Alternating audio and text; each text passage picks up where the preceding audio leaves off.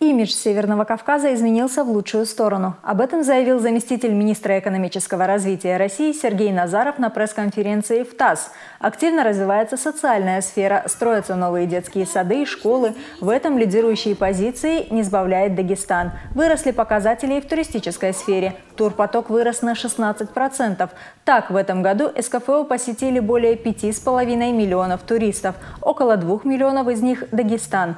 Не стоит на месте и агропромышленность промышленный комплекс. Порядка 70% овцеводства – это э, Северный Кавказ.